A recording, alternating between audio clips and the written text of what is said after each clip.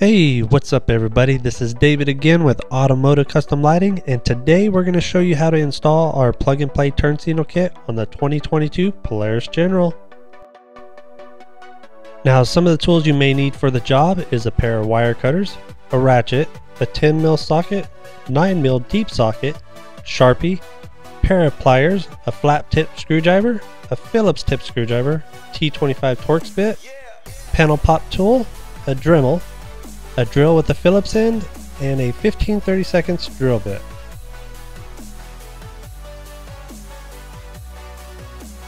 Go ahead and start by removing the hood.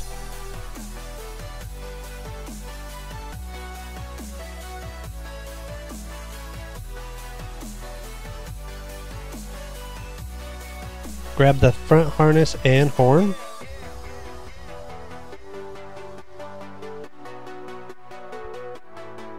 Grab the gray connector and go ahead and fish it through the firewall. Push it all the way through until you hit the black heat shrink.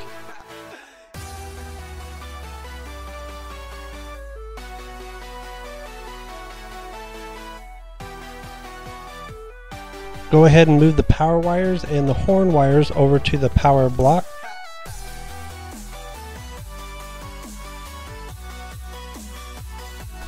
Grab the T25 Torx bit screwdriver and go ahead and remove the gold colored screw.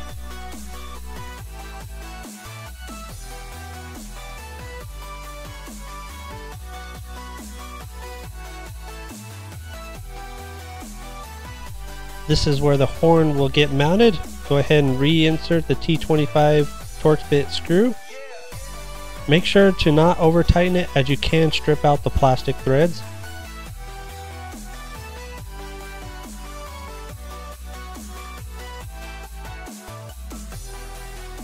Go ahead and wire up the horn. It does not matter which color wire goes where.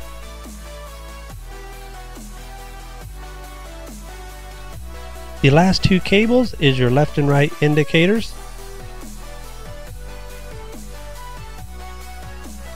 You want to go ahead and fish those wires through the rubber grommet to the under area side following the factory wiring.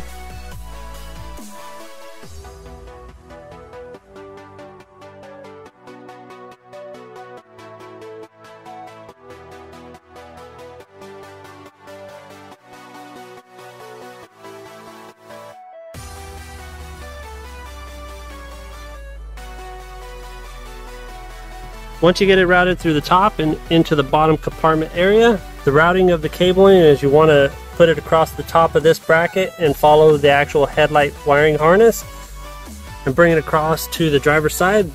Your left side is going to have your yellow tag. You come across to the passenger side. Uh, same thing, you'll have the same brace on the passenger side, uh, which is right up top. Run it across there this side will have a green tag for your right side.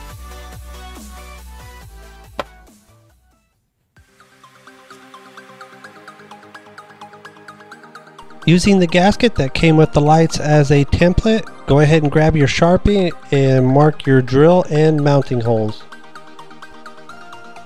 Now this part is up to you on where you want to mount the lights. This is the preferred area where we recommend mounting them, but it, again, it is up to you on how you want to mount these lights on the front of your machine.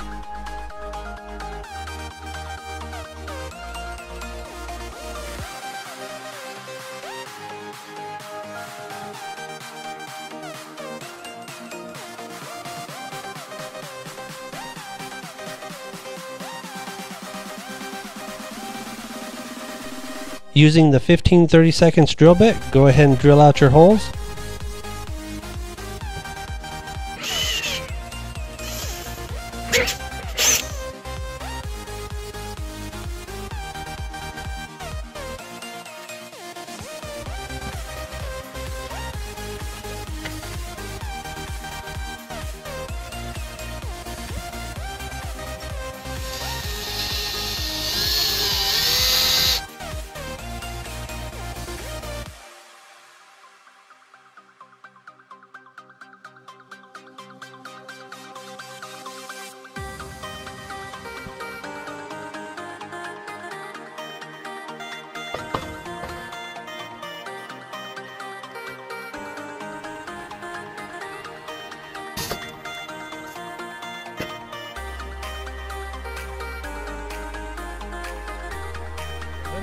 Go ahead and connect the wiring to the light.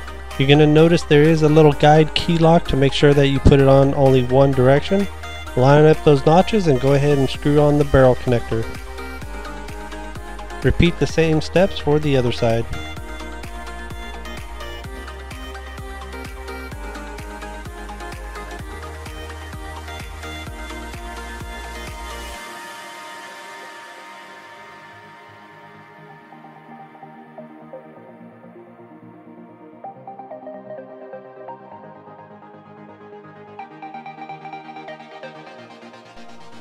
Using a few zip ties, go ahead and secure all the wiring down. We'd like to put one around the connector and the headlight adjuster screw just to pull it away from the wheel well.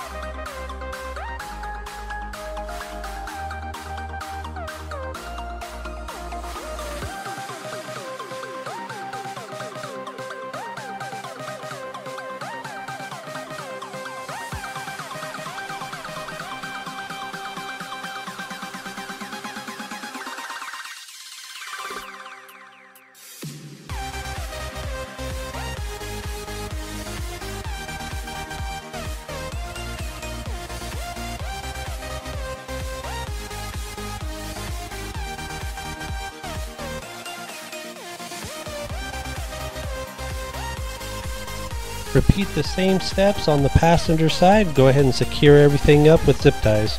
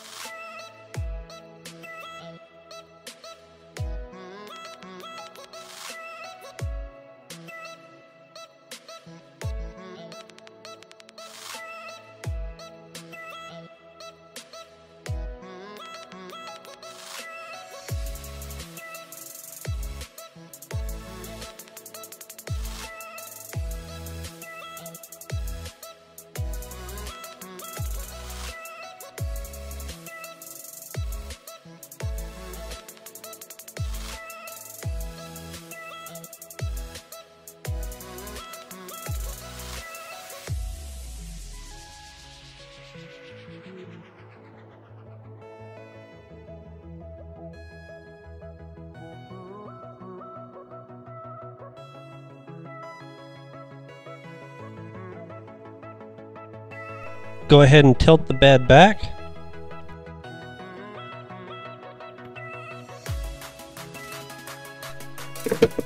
Using the panel pop tool, go ahead and pry up the factory tail light harness. Install our T adapter.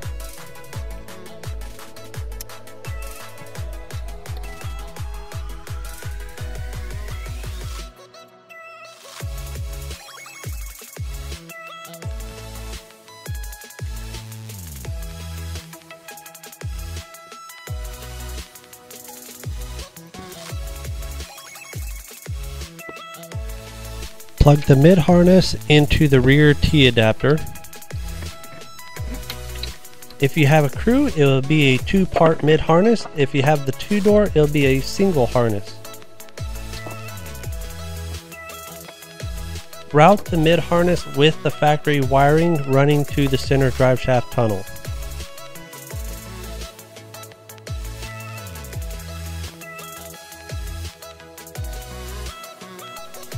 Now in some cases you could just remove the two rear cup holders and reach down and grab the bed harness.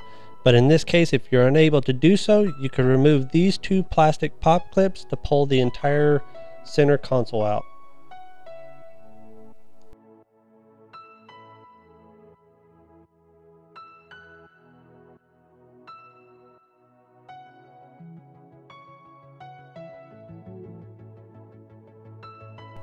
Go ahead and pull up on the center console. When you do so, there will be a cable attached to the bottom. Do not pry too hard as you can pull those wires off, which you do not want to do. Just slightly pull it up and set it to the side. Continue to route your mid harness along with the factory wiring that is running down the center driveshaft tunnel. Go ahead and connect the second extension piece to the mid harness.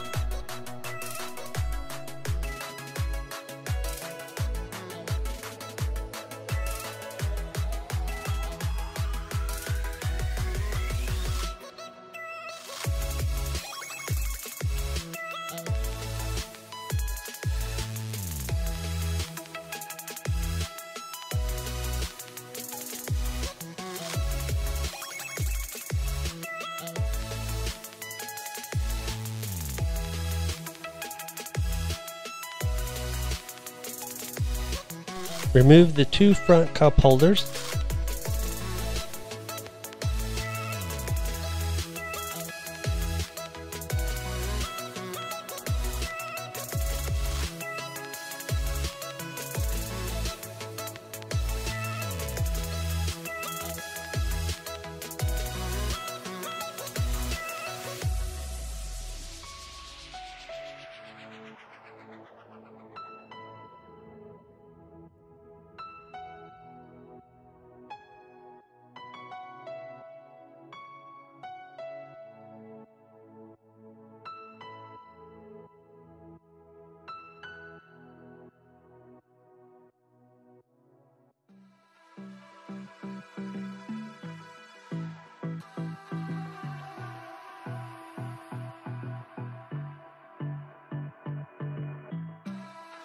Remove the switch panel using a small flat tip screwdriver to slightly pry on the edge there. There is no mounting hardware holding this unit on, so just go ahead and pry it off gently.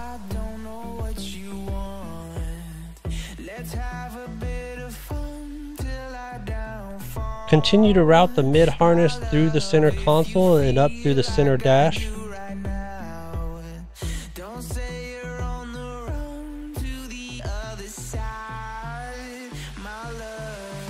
Grab each side of the gauge cluster and go ahead and pull it towards you and up and remove the bezel cover.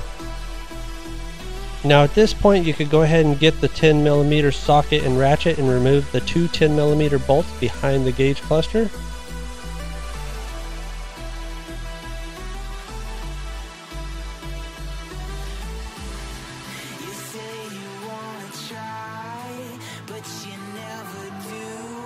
Squeezing both the top and the bottom of the gauge cluster harness, go ahead and unplug it and set the cluster to the side.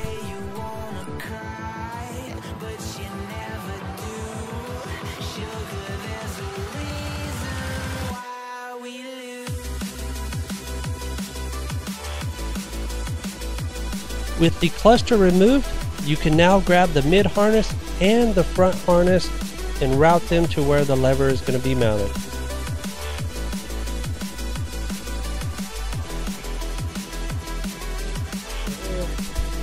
Loosely mount the lever brackets to the lever and put it around the steering column tube.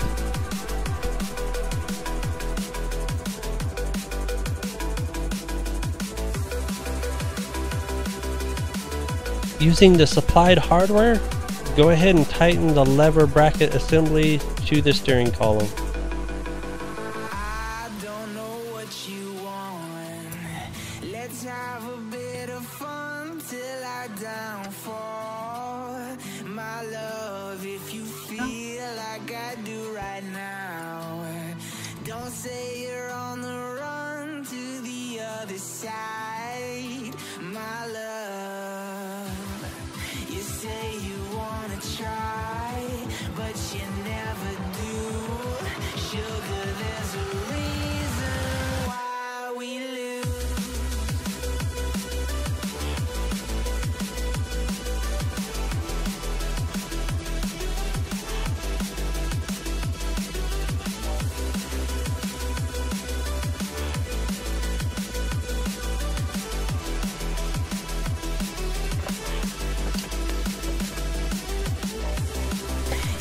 Route the gauge cluster wiring behind the metal tube and then up around behind where the gauge cluster is.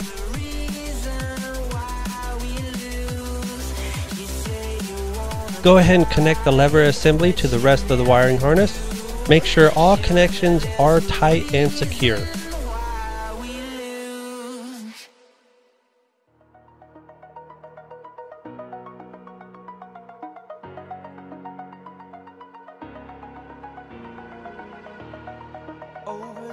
Go ahead and open up the gray connector cover. Using a small flat tip screwdriver, go ahead and remove the transparent pin keeper. You will have to pry on each side to get the cover to pop off.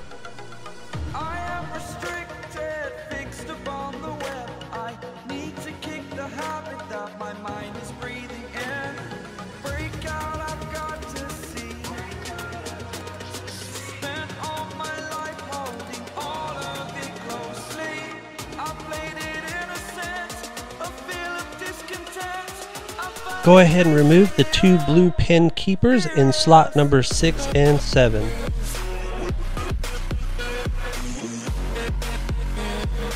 The yellow wire slides into slot number 7 which is right beside the yellow wire. The green wire will slide into slot number 6.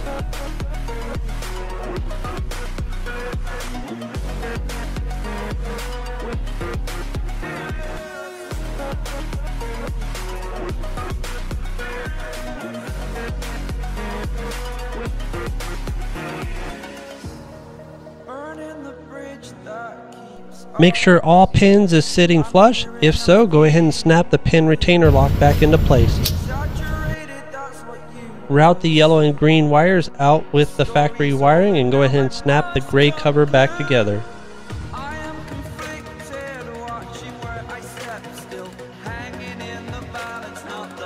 If you have the horn option, go ahead and route the horn switch over to your switch panel.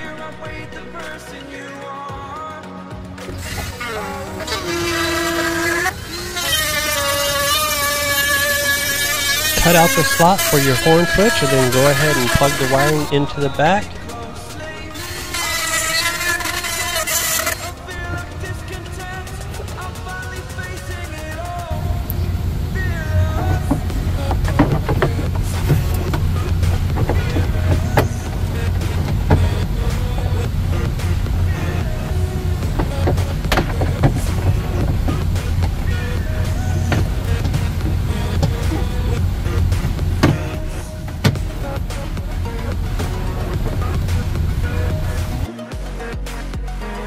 Reconnect the gauge cluster back up to the factory wiring. At this point you want to go ahead and test everything to make sure everything works. Go ahead and take the power connector and connect it up to your pulse bar.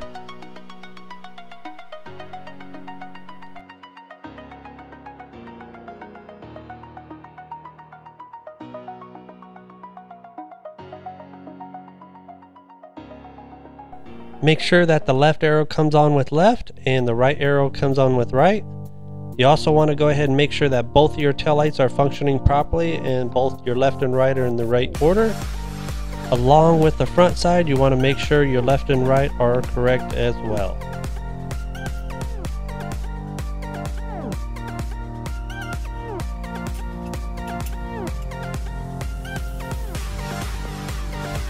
Reinstall the two 10mm bolts and pop the plastic cover back on the gauge cluster.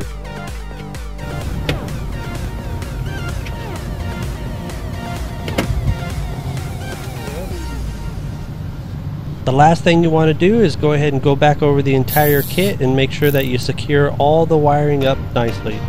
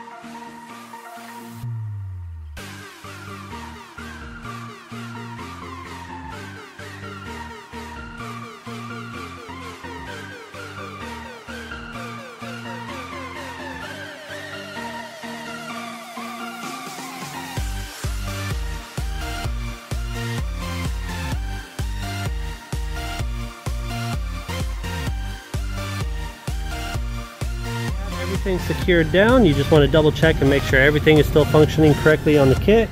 Pull out your lever, make sure your hazard lights are going. Left turn, right turn. You want to turn your key accessories on. Make sure the illumination light comes on and the horn works. Turn your key back off. Go ahead and put it on your left turn here. Make sure that your left indicator on the front is working. Left indicator on the dash and left indicator on the tail light. The reason why I say double check all this because we have ran into a situation where Polaris installed the tail harness backwards. So when you turn your left on, your right tail light was flashing and vice versa. Uh, at first we thought it was our kit, but come to find out we found on the General and the Ranger, they have installed the harness wrong a few times. So to fix that, just remove your tail lights, flip the harness around, reinstall it, and you'll be good.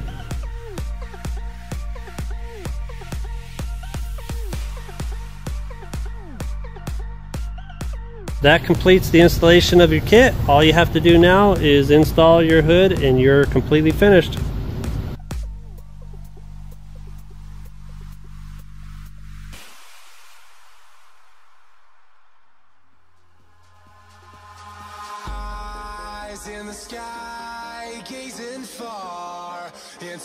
Thank you for watching this video. If you like what you saw, make sure to drop us a comment and let us know.